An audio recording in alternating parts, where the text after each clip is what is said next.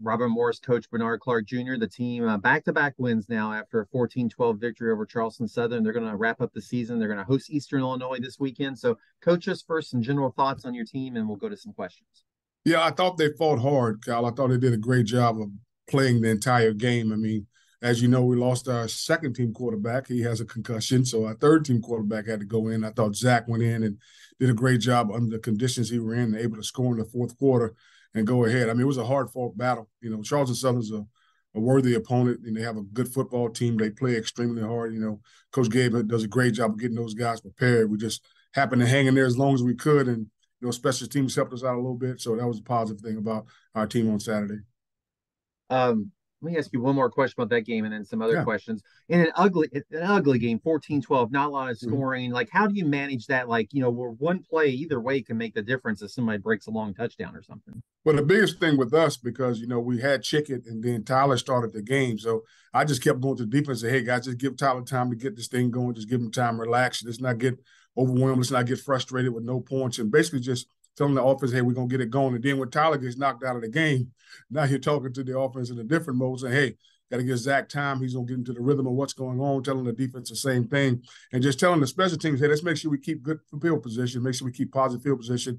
That's why it was one time I think we were fourth and two on like the plus 48, and the offense coordinator wanted to go for. It. I'm like, no, nah, we're not going for. It. We're gonna try to work this field position thing until we can get some stuff going. So giving our guys uh, the patience they needed and the understanding they need in order to keep it keep it close as we could in order to try to win the game at the end. It may be cliche next man up, but like if Zach's the third string going into the season, you know, he doesn't know if he's going to play. And now here he is making the big plays and scoring two touchdowns. Talk about just just being ready when he was called. Well, the, the great thing about Zach is last week, because you know, when Chicken went down, and then last week when Tyler was working, I went up to Zach and said, Hey, are you ready for this? He said, Coach, you keep forgetting I started three games last year. And even though we didn't win a game, he still played in three college games. So it's a situation where he was kind of like, I'm ready for it. You know, whatever happens, I'll be prepared, whatever the situation may be, whatever you guys need me to do. And so that was a positive thing about Zach. He's played in some games in some college games.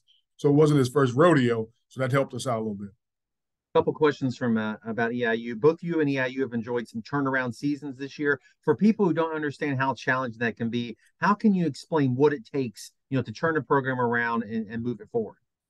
Well, the, toughest thing is this conference is just so tough. I mean, we're in the Big South one minute, and next thing, Big South is merged with the OVC. And it's like, okay, now we got some even tougher opponents than we had before.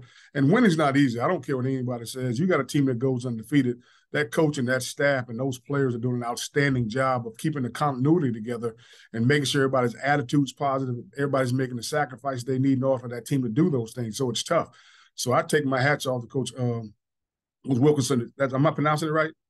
Okay. Yeah. Coach Wilkinson want to make sure that uh, he he's doing a great job with those guys and turning them around and putting them in a seven three situation. It's tough.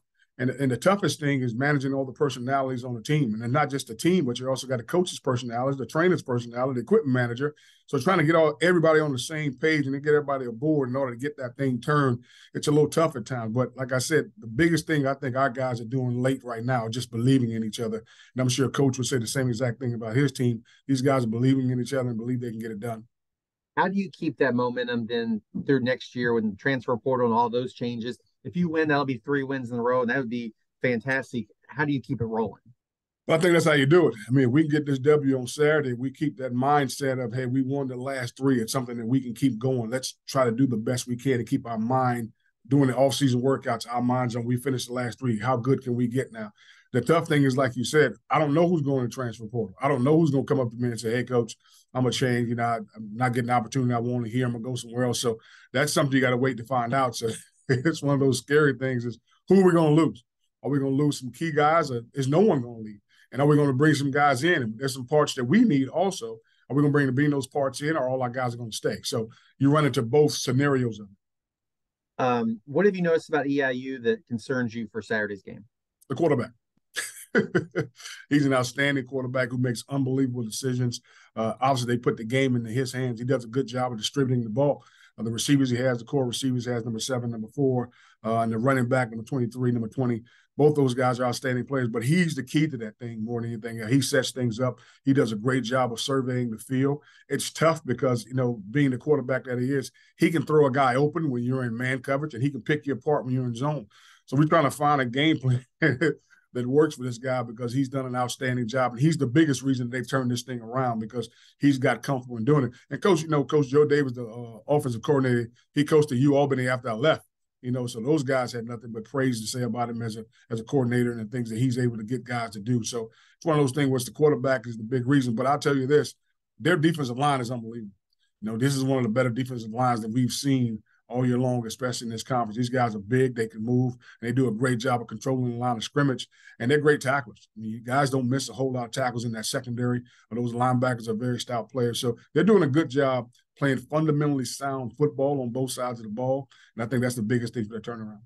And they rank at the top of the NCAA leaders in turnover margin. And we've talked about turnovers this year and doing the right things. Can you talk about like mm-hmm. that ass? You will have Absolutely. to take care of the ball. Yeah, there's no doubt. You know, we like we said, we turned over six times against Tennessee Tech. We turned over six times against him. We might have just, you know, kiss the baby because they they're going to finish the game on us pretty good. So we definitely got to hold on to the ball. And not just that, the penalties. You know, had a lot of penalties last week. Also, not the week before that against SEMO, which is uh, indicative of how we won the football game by not getting a lot of penalties. So we definitely got to minimize our turnovers. You know, this week and make sure we can get a couple. If we can get a couple or even keep it even, that's a great job for us.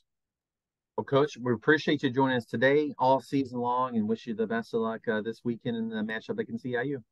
Thanks, Kyle. I appreciate it. Let's go, Bobby Mo.